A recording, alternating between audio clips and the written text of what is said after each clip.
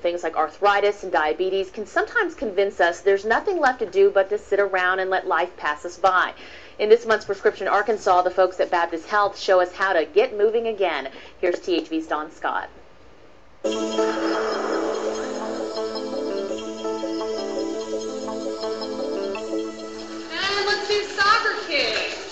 This is one of the water aerobics classes at Baptist Health Rehabilitation Institute in Little Rock.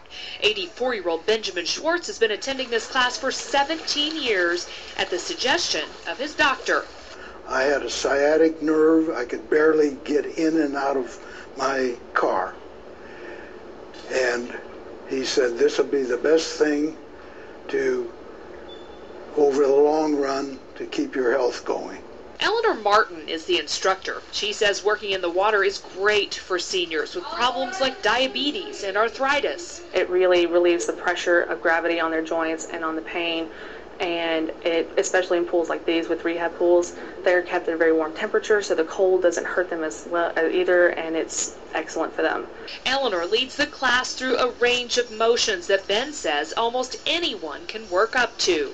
We move uh, with arms, legs, uh, stomach muscles, uh, everything throughout the, the body is uh, coordinated in various exercise programs. And uh, it's been very helpful to my health. In the water, the resistance, which the participant rarely notices, is making the exercise much more strenuous than he believes. Both Eleanor and Ben think water aerobics is a great workout for everyone. I think it's a great supplement where you can work out on land three times a week, work out in the water twice a week, or vice versa. It's excellent for all age groups and all fitness levels. It's just a total physical workout, and it's done wonders for me. Dawn Scott, today's THV. For more on the water aerobics class on